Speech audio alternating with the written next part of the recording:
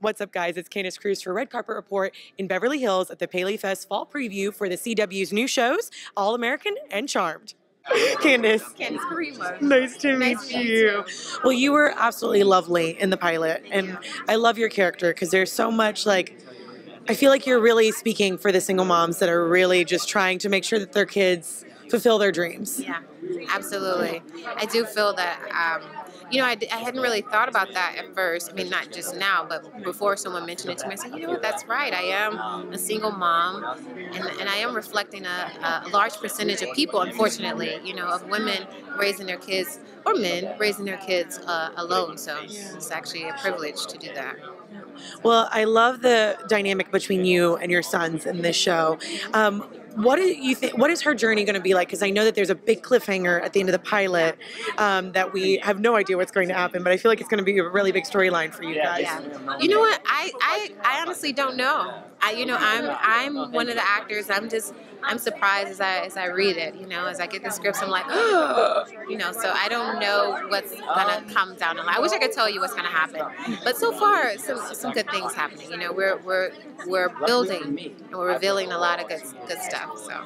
Well, what is it that you fell in love with with Grace? What can we? What will audiences fall in love with with Grace as well? I think Grace is very. I think Grace does the best with what she has. You know, she makes the best out of any situation. You know, it's very hard uh, right now, but she won't let that affect how she deals with her kids, her, her moods in the sense of it's just, you know, affecting the household. I think she's very positive. I think she's very loving. And I think she sacrificed a lot, you know, to put her children in a position to win in life. And I think that that's, you know, that's very relatable, you know, and that's very heartfelt in the sense of like people understanding wanting your kids to win and you know sacrifices sacrificing and, knowing that you're having a hard time you know so i think that you know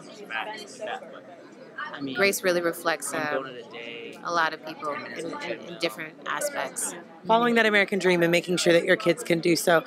What are you most excited for people um, to watch about the show, and not just Grace, but like I feel like there's a lot of really good topics that are going to be brought out within an All American. Yeah, I think I'm really excited for people to watch All American because it's very reflective of life. I mean, you know, we have teenagers in high school, but I think that we do live with the parents. We see what they go through.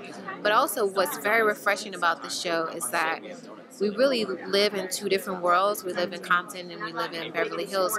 But you know, I on the outside you may feel like those worlds or people who live in those worlds are completely different. But I think the show really dispels a lot of those myths in the sense that we realize that we are a lot alike than we are different. And I think that that's very nice. And I like the way how they reveal how different, how how similar we are than different. So it's, it's good. It's great, great writing. The show is really well written, and I, I think the audience is going to enjoy it. Thank you so much. You're welcome. Yeah. Thank you. Thanks for watching. Be sure to like, subscribe, and comment below and let me know what show you're most excited about seeing this fall.